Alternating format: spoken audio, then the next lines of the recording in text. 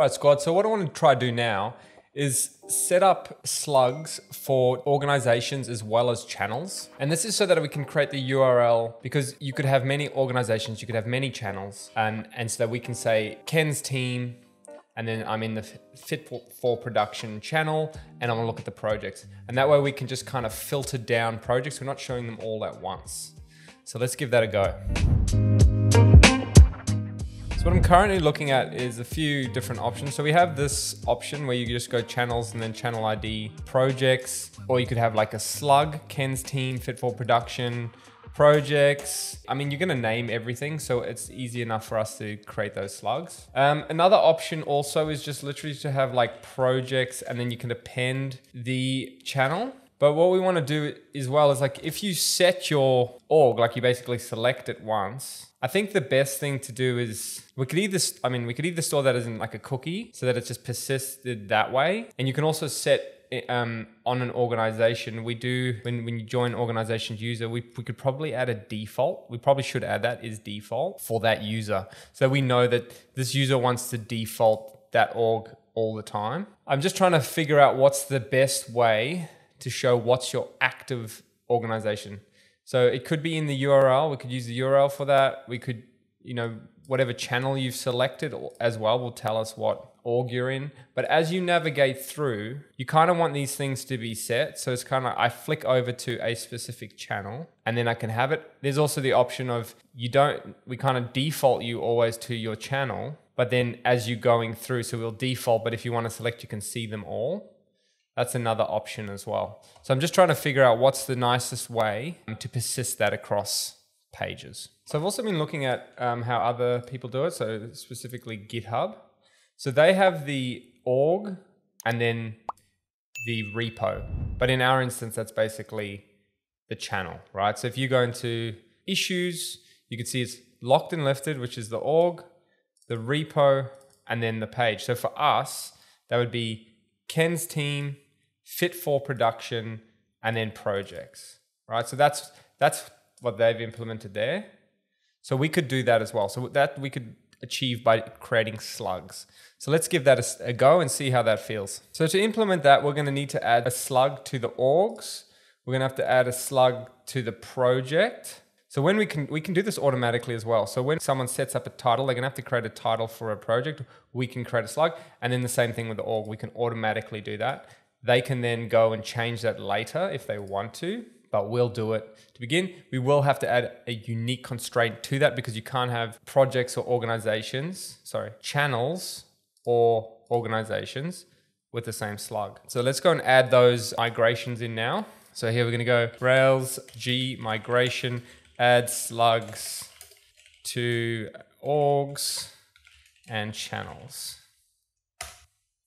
All right, so that's been created now. Let's jump into DB migrate here. We're gonna say add column, nice try, organizations, slug string, and that needs to be null false, and we're gonna have not default of that, but we're gonna have a unique constraint here, unique true, yeah?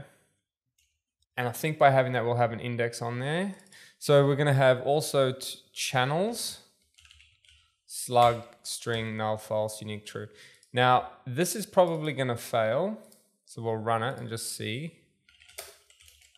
Because it's going to say we've got a null there. Yep. Yep, so that's where Copilot can stitch up. We need an index unique true. Let's see if we can do that. It might not be able to do this in a migration either. Unknown key index. Yeah, so I think we're going to have to add those indexes after the fact. All right, so let's just do this. Add index channel slug unique true. Add index organization slug unique true. Let's go. Yeah, so we can't do that right now because it contains a null value. So what we have to do is actually just go null true.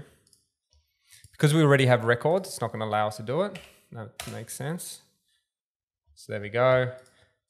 And what we can do here is now we can just say null false because in the future when we run this in production, because we haven't deployed yet, this will always be null false. All right. So now we've got channels and organizations. Now let's have a look at what that looks like in the DB. So if we go here, channels have a slug that's indexed. If we have a look at the indexes, not the links, the indexes, you've got channels on slug and it's a unique index here. All right. And then the same thing will happen on organizations. All right. So those are both indexed and unique. All right. So let's just go here. We're going to say Ken's team. And I think what we'll also do is we'll down, we'll force a down case on this always. So we don't end up with like capital K, capital T, just so that we, you know, so people can't hack, like have the same slug, but one of the letters is an uppercase, one of them is lower. So you don't want that to happen. And then channels, let's just get you refreshed. Where are you? Fields, slug, channels, there. And then this is going to be fit for production. So we'll kebab case them like that, and that will be the slug. I think that's similar to what friends at GitHub do. So we'll run with that. All right, so let's add some validations here. So we're gonna say validates slug uniqueness true on organization and the same thing for channel, right? What we also wanna do here is I'm gonna add a private method. I'm gonna add it to organization as well. So we're gonna go here. And we're gonna say um, set default attributes. And now what we're going to do in here is we're going to say self.attributes equals, and we're going to say slug is self.slug or, and then we're going to turn the title. So if there's no slug set, so if the user hasn't specifically defined it, left it blank, we will then go through and actually create one using the title. Okay? All right, so I'm just mucking around here to just show we can take in Rails console, we can use Ken's team, and then we can get, call a method called parameterize, and that's going to kebab case it like that. So that's pretty cool. Um, and then we can see like, is there, if we had Ken's team, that gets parameterized like that. Um, Ken's team gets parameterized like that. Cool. So that always forces it down and it'll kebab case it um, if there's a space, right? So it could be Ken's really cool team turns into that. So that's exactly what we want. So it's called parameterize. So we'll use that. So back inside of our organization model, we're going to go self.slug or self.title.parameterize, right? That's what we're going to set the slug to. So we're going to do that there. And then we're going to do this on channel as well. Set default attributes. Sick one. So that's it there. So we're always going to validate that the presence of the title is true. I mean, is is there, is true. And then from there, we can use the slug and we can set it to that. Now, what we do need to do is we need to add in a before save. So let's just see if we've ever done this in this project yet. I don't think so. Before, they've got a before validation. So we can just add it to before save. So I like to do that. We'll do that in between here. Before save, we're going to set default attributes, right? So we do that on the org. We're going to do that on the channel as well. And that way we always have the slug set. So now what we can do is let's go here and reload Rails console. And let's create a new organization. And I'm going to call this Darrell's team. All right, and we're gonna hit, we need to create the, set that as a title there. There we go, and you can see that the slug was, because I didn't create it, is there. It's called Darrell's team, perfect. And now let's go and just create a new channel. We're gonna go channel.create. I'm just gonna go my cool channel. Let's be cheeky here and let's go with one that's real. Title, the prime time. I wonder if any of you have ever watched that one. There we go. There's a rollback because the channel needs an organization. Organization is organization dot find one. There we go. We got the prime time set up. All right, now let's update our routes so that we use this slug as a prefix. All right, so cool thing about the routes here. We can use the scope and we can say scope channel slug as channel. So that's going to be the prefix name now when we call these routes. And then we can give the regex what kind of um, what we expect the channel slug format to be in. So can it only have numbers, can only have letters. So in this, I've just said any word character for now. And then we're doing a nested resource of projects. When we run Rails routes, we get this. So now you can see channel projects, right? So we could say channel projects path. We then expect to pass in the channel slug, and then we get projects, and it's going to route us to the projects index. And it's going to pass in that variable. So we can use that to filter down the projects, right? So now, just an example, you can see here I've got fit for production slash projects, if you can see that, it's very small. And that takes us to the projects page. Now, if we go and add in this Kanban route, just here, right? We should be able to go project slash Kanban. And there it is. Right, so that's the page we were working on before, but now you can see we've got our, our channel name up there. So I think that's probably the, the good case is you start and you kind of set your, your default channel that you want to work on. But then as you're going through, you could say, okay, I want to, so what we'll do is in, the, in another video here is um, create a channel selector. And when we select that, it will change this out to a different channel that we run. So it could be second channel, right? And then we will render the videos or the projects just for that one channel. Okay, so it's basically a filter. And what I'm doing here is kind of copying the style from GitHub, all right? Just a bit nicer to look at because we could have had um, channels slash one slash projects like that. Like that could also, you could do just a simple nested route like that, but it's not as clean, I guess. And it's also a bit harder to read. Like this is very clean to say, oh, I'm on my second channel projects. And if you share that link to your team, they can instantly see, oh, it's for that, and we're working on that channel. Just a, I guess it's just a little bit nicer to work with. Doesn't really affect too much. We're going to do a lookup on a indexed value there, so it should be pretty fast. All right, so just to quickly show how this could work, we've got two channels now. We've created two. They both belong to organization one. So what I'm going to do now is I'm going to jump into the, we need to create a channels controller here. So do we have, let's just go in here. We're going to go Rails, G, scaffold, controller, and this is for channel. All right. So run that. Now we should have here, we should have channels. All right, so you can see all these really cool channels and does absolutely nothing. Channels one and channels two, and you click on them, it does nothing here. Just you can look at them. But what we're going to do is let's say when we click on this channel, instead of taking us to channels one, we're going to route you to that same Kanban route for, for that channel. So let's go in here. Now we're going to go into the views. We're going to go to channels. We're going to go to this channel. So it's currently in the index route that we're looking at. So this is currently linking to show this channel. And this is, let's go to um, channel projects, right? So now we've got that there. And now what we're going to do is we're not going to link to um, just the straight up channel. Just going to wrap these in brackets to find a little bit easy to work with. But we're going to go into the channel projects path. And let's just have a look here. So if we go Rails routes again, we're looking for, so we're going to go into channel slug, right? So we're going to go, let's go to this channel projects Kanban path, right? But now what we do need to do is pass in, we're going to say channel slug here, and we're going to say channel dot slug, right? And I actually think you could probably just pass in channel and Rails will do its magic. Let's see. Uh, um, we need to add path on here, right? And you can see now it's got it there. The only problem is we do need to say channel slug.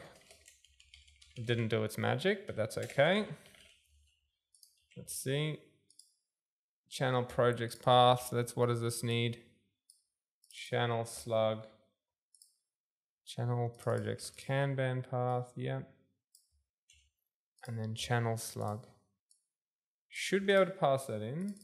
Okay, the reason it's failing is this unmatched constraints, right? Possible unmatched constraints. So that's because it's this channel slug is fit for production.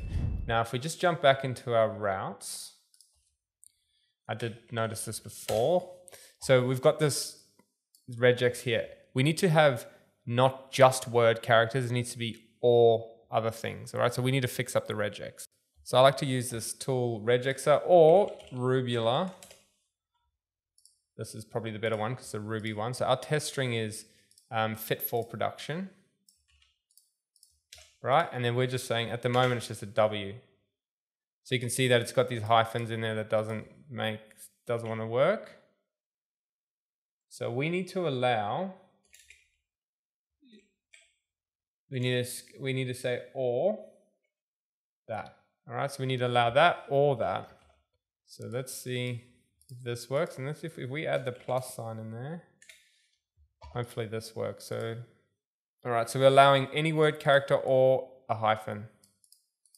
Let's just also check this underscore. That matches as well. All right, so that's all good. Let me just do this. Okay. So I just I just wrap that in brackets and then plus, which means many. It, it can be more than one. So one or more of.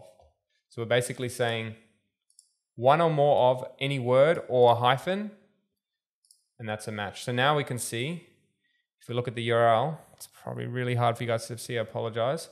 Fit for production slash project slash Kanban or the primetime projects Kanban. Now if we click on that, here's the URL. So let me paste that into here. It's a bit easier to see right? So there's the primetime projects Kanban, or if we go back to this one, fit for production. So you can see now we're using this in here. Now the final piece of this is inside the projects. We're now in the index route, I believe, uh, no, in the Kanban route. What we want to do here is we want to just go puts, I want to just say param, and I want to say channel slug, yeah? And let's just have a look inside the console. I'm going to just add another puts here and then we just refresh. Now you can see here, here's our slug, okay? So we're getting that in there. So now what we can do, instead of all, we're gonna have where, and then what we have to do here is we're gonna have to join. So we're gonna say dot joins, organization, uh, sorry, channel, right? Dot where. And what we will probably do here is create a scope. So we don't have to always do this because we're gonna do use this a lot. So we're going to say where, and then we're going to say channels slug is equal to params channel slug. right? let's see if this works. This still works. Yep. So now we're getting, we're still getting all our results. We're joining the channel, and then we're passing in the channel slug. Okay, so that's now, we're going to be able to filter all our results by the channel. So I guess the easiest way to show the before, I should probably should have shown the before and after. But if we go, pro, we can do this on the index route as well. So we'll grab this. Let's go to the index route. So we can just go straight to the projects path. We've got one project here. And then if we go to the prime time, I guess we only have one project at the moment. That's probably our problem. No, not project ideas. Projects, we got one. So let's create up, a, set up another project quickly. So we go Rails C project.create, and we're going to say, what do we need in a project? We need an organization. So organization ID is one because we only have one of those right now, and we're going to have channel ID two. Two, yeah. Need a title. We're going to say scoping projects by slug. What have I done? Uh, got to add the parameter name, title. All right, there we go. All right. So now, if we go into this here and just change this back to projects, fit for production has two, but we know that's not actually correct, right? So if we now change this like that, you now see it scoped down. That, apologize again, can't really see, it's in black. Let me undo it, refresh. You can see here, there's one, two projects, Now if we add that in, you see there's only one. So now we're actually scoping this down. So we're taking the projects. So this user will eventually have, will policy scope it as well. So they can only see the ones that they belong to, the organization. But now what we're doing is we're adding another filter, which is the channel slug.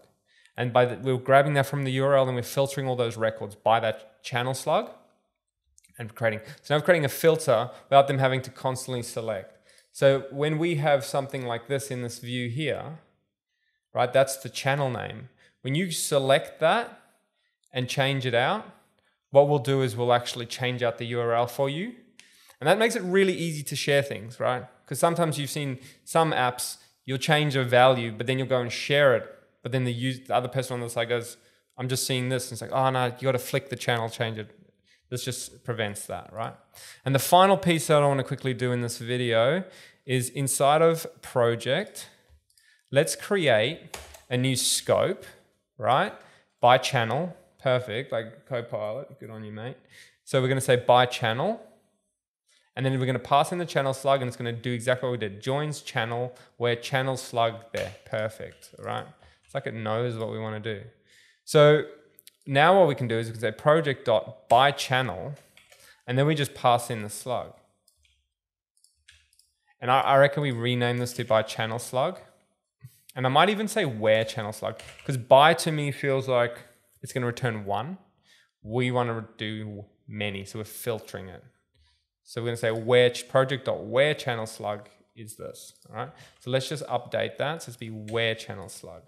Now that is, I will check the naming conventions. That might change over time, but we will just run with this for now. So now we can do this. And what we're going to eventually end up with would be policy scope. So that will be the authorization piece. It's like only show the projects or filter down the project that this user has access to. And then from there, because the user could have multiple channels, filter those down where the channel slug is equal to the one we've grabbed from the URL. And it's going to be that easy, all right? So we'll add that policy scoping in later. But that's it. So now we have access to jump through and actually change out these things and scope it all down. So hopefully you enjoyed that one. Catch you on the next one.